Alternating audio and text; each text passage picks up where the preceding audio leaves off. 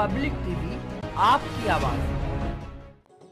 मुरादाबाद के थाना मूडा पांडे इलाके से गायब एक बच्चे का शव आज सुबह गन्ने के खेत में मिलने से हड़कंप मच गया। बच्चा कल दोपहर से लापता था। बच्चे की बॉडी मिलने की सूचना पर डीआईजी सहित आला अधिकारी मौके पर पहुँच गए। पूरे मामले की छानबीन के लिए एफएसएल टीम भी मौके पर बुला ली गई। दरअसल मामला मूडा पांडे क्षेत्र के अक्का पांडे से जुड़ा है। जहाँ पर 11 साल का आयुष कल दोपहर नहाने के लिए कहकर घर से निकला था। लेकिन शाम तक जब वो घर नहीं पहुँचा तो उसके परिजनों ने उसकी खोजबीन शुरू कर दी और इसकी सूचना पुलिस को भी दी। रात भर तलाशने के बाद बच्चा परिजनों को नहीं मिल पाया। तभी आज सुबह किसी ने सूचना दी कि आयुष का शव पास के गन्ने के खेत में पड़ा हुआ है।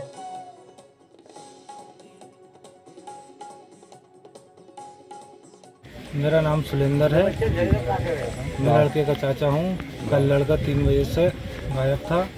रात भर हमने देखा था। यहाँ भी आए थे ईख में।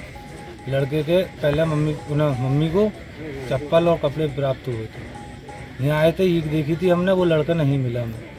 फिर उसके बाद में घूम घाम के साढ़े तीन बजे के टाइम उसके बाद में अब आए थे तो लड़का नहीं था। आयुष क्या क्या लगता है?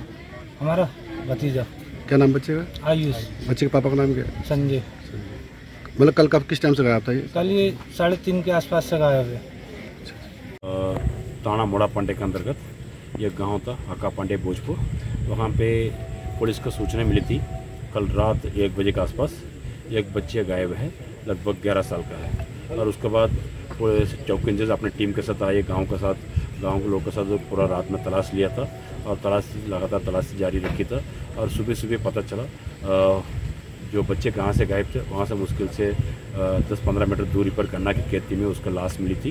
अब पुलिस ने उसका लाश का कब्जा में लेके पीएम के लिए कार्रवाई करा लीगल कार्रवाई कर रहे हम लोग फोरेंसिक टीम वगैरह सब बुलाए हैं, वो कार्रवाई कर रहे हैं हम लोग। और पता चला, बच्चे कल शाम को तीन बजे घर से निकला है स्नान करने के लिए गाँव में एक छोटे से स्विमिंग पूल टाइप बनी है, वहाँ पे स्नान करने के लिए आया है।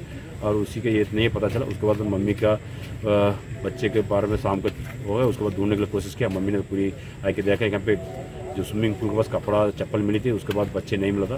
उसके बाद उन्होंने खुद स्वयं रात, पूरा रात गाँव के लोग के साथ तलाश किया, उसके बाद पुलिस के डेढ़ बजे के बाद सूचना दिया था।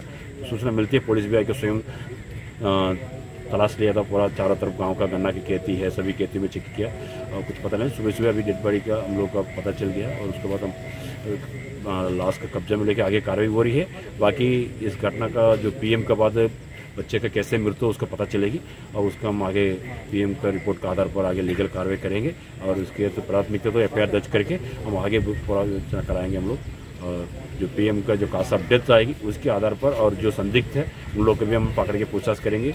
अभी संदिग्ध में, संदिग्ध एक व्यक्ति है, उसके हिरासत में लेके पूछताछ कर रहा है और बाकी प्राथमिकता का अनुसार हम आगे कार्रवाई कर रहे हैं। पब्लिक टीवी, आपकी आवाज़।